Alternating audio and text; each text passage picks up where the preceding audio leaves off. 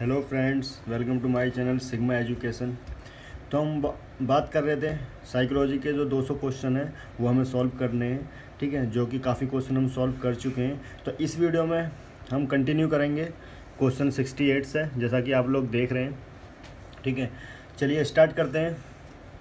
Question है in context of progressive education जो progressive जो एजुकेशन है, उसके कॉन्टेक्स्ट में which one of the following statement is true according to John Dewey John Doe John Dewey के according जो है, कौन सा स्टेटमेंट ट्रू है? ठीक है? चलिए, हिंदी में देखते हैं प्रगतिशील शिक्षा के संदर्भ में निम्नलिखित में से कौन सा कथन जॉन डेवी के अनुसार समुचित है, ठीक है? तो जॉन डेवी के जो अनुसार है, जॉन डेवी के अकॉर्डिंग कौन सा जो इसमें स्टेटमेंट है, वो हमें इसमें फाइंड आउट करना है। दोनों इसमें क्वेश्चन को समझना है क्वेश्चन क्या कह रहा है ऑप्शन को अच्छे से समझना है, उसके बाद ये हमें रेस्पॉन्स करना है।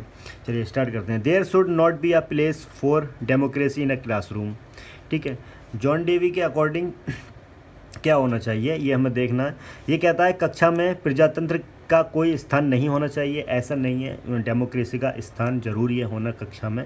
तभी वो प्रोग्रेसिव क्लासरूम बनेगा, जब उसमें डेमोक्रेसी होगी। क्लास में डेमोक्रेसी होगी, सबको बोलने का हक होगा, सबको अपनी बात करने का बात रखने का, बात करने का हक होगा, ठीक है। सेकंड ऑप्शन है student should be able to solve social social social problem themselves ठीक है? विद्यार्थियों को स्वयं की सामाजिक समस्याओं, जो सोशल जो सोशल प्रॉब्लम है, को सुलझाने में सक्षम होना चाहिए, ठीक है?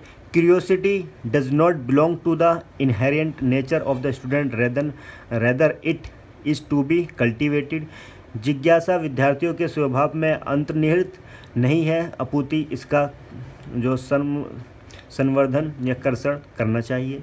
फोर्थ ऑप्शन है student should be observe and not hear in the classroom कक्षा में विद्यार्थियों का निरीक्षण करना चाहिए, न कि सुनना चाहिए। तो इसमें हमें देखना है, जॉन, अगर हम बात करें जॉन डेवी की तो जॉन डेवी ने कहा था स्टूडेंट को क्या स्टूडेंट को कैसा होना चाहिए? Student student should be able student able हो जाना चाहिए solve socially problem themselves जो सोशली प्रॉब्लम है, जो उसकी डेली लाइफ की प्रॉब्लम है, जो भी, जो कि समाज में समाज में जो प्रॉब्लम है, उसको सॉल्व करने के एबल हो जाना चाहिए। ठीक है? उसको सोल्व करने के एबल हो जाने चाहिए। विद्यार्थियों को स्वयं ही सामाजिक समस्याओं को सुलझाने का सक्षम होना चाहिए। उसके वो सॉल्व उसको कर सके। ठीक है? चलिए नेक्स्ट क्वेश्चन है।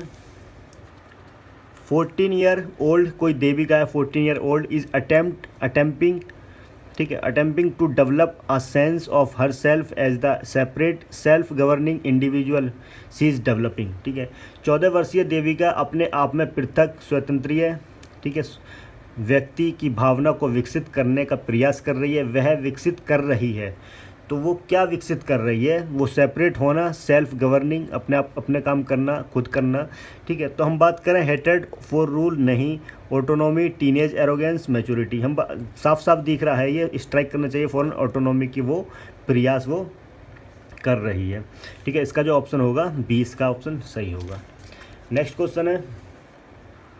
R teacher says to her class as individual assignment are designed to help individual student learn more effectively. All students should complete assignment prescribed without any assistant ठीक है? कोई उनको असाइनमेंट दिया गया बच्चों को, ठीक है? इंडिविजुअल असाइनमेंट है, ठीक है? All student should assignment complete कर लेते हैं, ठीक है? विद विदाउट एनी असिस्टेंट मतलब जितने भी किसी भी हेल्प के बिना वो असाइनमेंट जो पूरा कर लेते हैं। She is referring to which of the following stage of Kohlberg की कोहलबर्ग की कौन सी स्टेज में आता है? ठीक है, हिंदी वाले देख लेते हैं। एक शिक्ष एक शिक्षिका अपनी कक्षा से कहती है, सभी प्रकार के प्रति कार्यों असाइनमेंट जो हैं का निर्माण इस प्रकार किया गया कि प्रत्येक विद्यार्थी अधिक प्रभावशाली ढंग से सीख सके, अतः सभी विद्यार्थी बिना किसी अन्य की सहायता से अपना काम पूर्ण, अपना काम, अपना कार्य पूर्ण करें और कॉलबर के किस नैतिक विकास विकास के चरण को वो संकेत दे रही है। ठीक है तो इसमें बात करें हम कॉन्वेंशनल स्टेज दे रखी है। इसमें फोर जो कॉन्वेंशनल स्टेज में फोर लॉ एंड ऑर्डर की बात करिए। ठीक है? पोस्ट कॉन्वेंशनल स्टेज में जो फाइव है सोशल कॉन्ट्रैक्ट की बात करिए। प्री कॉन्वेंशनल स्टेज में पनिशमेंट अवोडेंस की बात करिए। प्री कन्वेंशनल स्टेज में इंडिविजुअल एंड एक्सचेंज की बात करिए। ठीक है? तो हम देखा जाए लॉ एंड ऑर्डर से यहाँ पे कुछ रिलेटेड नहीं है। सोशल कॉन्ट्रैक्ट का भी इसमें नहीं है। पनिशमेंट का भी नहीं है। इंडिविजुअल का इंडिविजुअल की बात हो रही है, इसमें जो स्टेटमेंट ये दिया है इन्होंने, इसमें इंडिविजुअल की बात हो रही है एंड एक्सचेंज की बात हो रही है। ठीक है? तो ये कौन सी स्टेज में आएगा? ये जो आएगा प्री कॉन्वेंशनल की स्टेज में आएगा, जो कोहलवर्ग की स्टेज है। इसका जो ऑप्शन होगा कौन सा? डी इसका ऑप्शन सही होगा। चलिए नेक्स्ट क्वेश्चन है। Which one which one of the which of the following is based on Vygotsky की सोस वाईगॉट्स की जो सोशल कल्चर थ्योरी है? ठीक है? कौन सा इनमें से बेस है? बहुत ही इंपॉर्टेंट क्वेश्चन है बहुत ही बढ़िया क्वेश्चन है, ठीक है? निम्नलिखित में से कौन सा वाइगोट्सकी के सामाजिक, सांस्कृतिक सिद्धांत पर आधारित है? ठीक है। ऑपरेंट कंडीशनिंग है रेसिप्रोकल टीचिंग है कल्चर न्यूट्रल कॉग्निटिव डेवलपमेंट है इंसाइट लर्निंग है।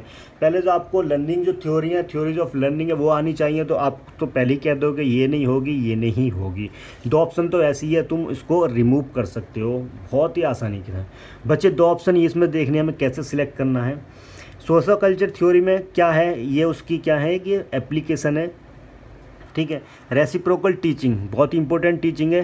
ठीक है कल्चर न्यूट्रल कॉग्नेटिव डेवलपमेंट इन्होंने इनकी बात नहीं करी थी, इन्होंने सोशल इंट्रैक्शन की बात करी थी। तो इसका ऑप्शन जो बी सही होगा, मैं बता दूँ, इसमें एक जो आती है कॉपरेटिव लर्निंग कोऑपरेटिव लर्निंग याद रखिए, ये भी पूछ लिया जाता है। Cooperative cooperative learning and reciprocal teaching reciprocal teaching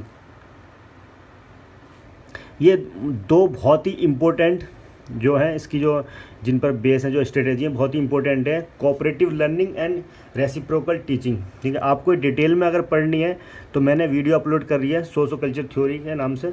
वो आप देख लीजिएगा, उसमें बहुत ही डिटेल में दे रखा है। ठीक है, चलिए नेक्स्ट क्वेश्चन है। In the progressive model of education as implemented by C progressive जो मॉडल ऑफ़ एजुकेशन है सी ई ने इम्प्लीमेंट किया। Socialization of children is done क्योंकि बच्चों का सोशलाइजेशन अच्छी तरह से हो सके in such a way so as the expect them तो उससे वो क्या एक्सपेक्ट करते हैं? ठीक है, हिंदी में देखते हैं। के माँ C B sorry C B C B S E द्वारा अपनाए गए प्रगतिशील शिक्षा के प्रतिमान में बच्चों का सामाजिकरण इस प्रकार से किया जा, किया जाता है, किया जाता है, उससे अपेक्षा की जा सकती है। ठीक है तो इसमें है ऑप्शन दे रखिए give up the time consuming social habit and learn how to score good grades ठीक है। वे समय वे समय नष्ट करने वाली सामाजिक आदतों, प्रकृतियों का त्याग करें और सीखें कि किस प्रकार अच्छी श्रेणियाँ पाई जा सकती हैं। श्रेणी की बात कर रहा है, ग्रेड की बात कर रहा है। Be an active participant in the group work and learn social skill वे सामूहिक कार्यों के सक्रिय भागीदारिता का निर्वाह करें तथा सामाजिक कौशल सीखें। The rule of regulation of society without questioning वे बिना प्रश्न उठाए सामाजिक, समाज के नियमों का विनियमों का अनुपालन करने के लिए तैयार हो सकें। तो इसमें जो हुआ था, जो सीबीएसई ने करा था प्रोग्रेसिव मॉडल ऑफ़ एजुकेशन में, ठीक है, इसमें टाइम कंज्यूमिंग सोशल हैबिट की बात कर रहा है, ये तो इसका नहीं होगा option. Be an active participate होना चाहिए in the group and social, learn social skill बच्चा सीखे तो इसका जो ऑप्शन बी सही होगा, सी नहीं होगा, ठीक है। वे सामूहिक कार्य के सक्रिय भागीदारिता का निर्वाह करें तथा सामाजिक कौशल सीखें, ठीक है। चलिए नेक्स्ट क्वेश्चन चलते हैं। नेक्स्ट क्वेश्चन है। Sita has learn to eat rice बहुत ही अच्छा क्वेश्चन है।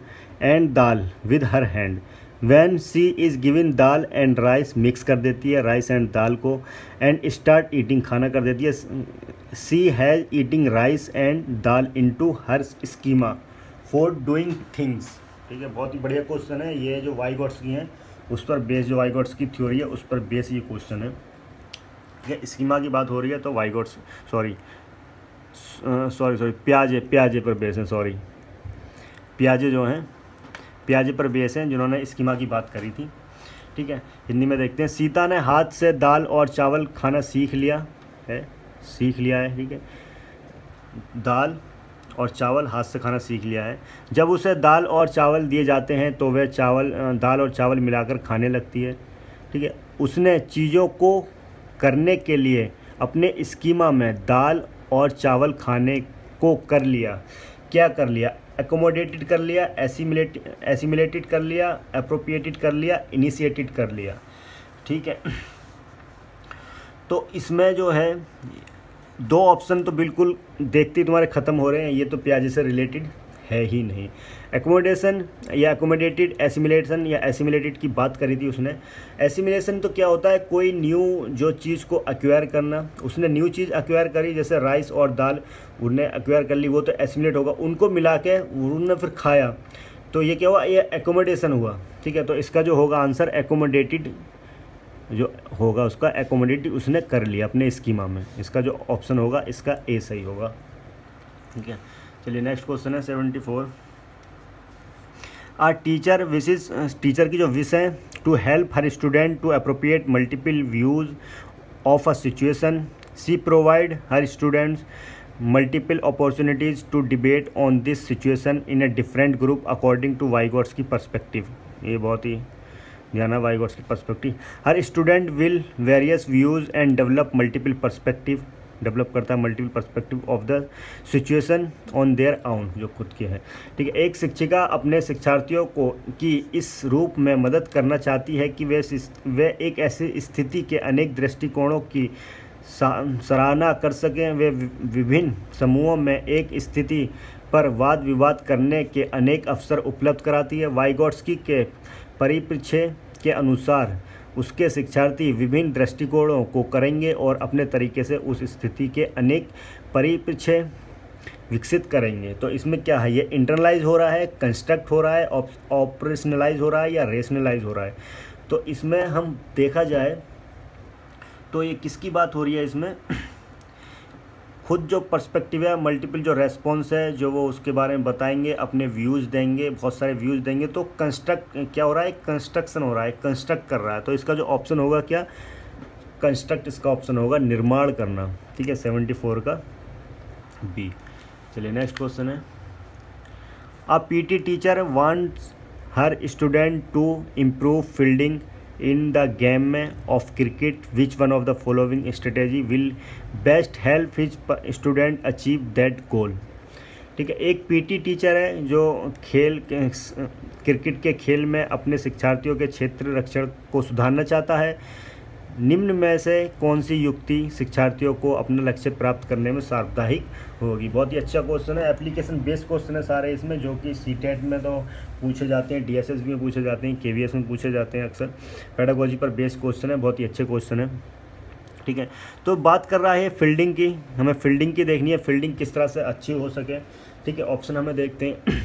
Tell student how important it it is for them to learn to field student को बताना चाहिए क्या किस तरह से अच्छी फील्डिंग करी जाती है, शिक्षार्थियों को ये बताना कि क्षेत्र रक्षण सीखना उनके लिए किस प्रकार महत्वपूर्ण है, या फिर एक्सप्लेन करना चाहिए logic behind good fielding and rate of success good fielding का जो लॉजिक है, वो क्या है, वो उसको एक्सप्लेन करना चाहिए। बेहतर क्षेत्र रक्षण और सफलता की दर के पीछे के तर्क को स्पष्ट करना चाहिए। Demonstrate fielding while student observe या उसको टीचर को खुद डिमोस्ट्रेशन दिखाना चाहिए मतलब करके दिखाना चाहिए किस तरह से फील्डिंग होती है।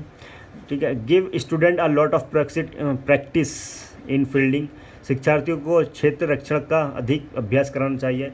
तो फील्डिंग जब तक बच्चा जो करेगा नहीं ठीक है तो उसको कैसे वो अच्छी कर सकता है? ये क्या है? प्रैक्टिस है। प्रैक्टिस मांगती है, उसको बताने से इतना नहीं सीखेगा, उसको लॉजिक बताने से नहीं सीखेगा, उसको डिमोन्स्ट्रेशन देकर नहीं सीखेगा। तो जब वो खुद करेगा, खुद प्रैक्टिस में आएगा, तब वो अच्छा वो कर सकेगा। तो इसका जो ऑप्शन होगा, डी इसका ऑप्शन सही होगा। ये नहीं होगा, ये भी नहीं होगा, ये भी नहीं होगा। ठीक है, चलिए नेक्स्ट क्वेश्चन है। सोशलाइजेशन इज़ सोशलाइजेशन जो है, वो क्या है? सामाजिकरण एक तरह से है क्या? रेपर्ट है, बिटवीन टीचर एंड टॉट, शिक्षण एवं शिक्षार्थी के बीच संबंध है। प्रोसेस है मॉडर्नाइजेशन ऑफ़ सोसाइटी का, समाज के आधुनिकरण का की प्रक्रिया है। यह अडेप्टेशन है ऑफ़ सोशल नॉर्म्स की, समाज के मानदंडों के साथ अनुकूलन। चेंज इन सोशल नॉर्म सामाजिक मानदंडों में परिवर्तन। तो इसमें देखना है कौन सा इसका ऑप्शन है। अगर देखा जाए इसका option adaptation of social norms socialization क्या है? जो सोशल नॉर्म्स को, उसको अडेप्ट करना। अडोप्ट नहीं, एक एक अडेप्ट होता है, एक अडोप्ट होता है। दोनों में फ़र्क होता है। अडोप्ट एंड अडोप्ट ठीक है? अडोप्ट तो ऐसे कैसे ले लेना। अडेप्ट सुनने मतलब उसमें ढल जाना। ठीक है? हम तो हमें क्या सोशल नॉर्म्स को हमें अडेप्ट करना है? तो इसका जो ऑप्शन होगा सेवेंटी सिक्स का जो सी सही होगा। चलिए नेक्स्ट क्वेश्चन है। Which one of the following is true about the role of heredity and environment ठीक है?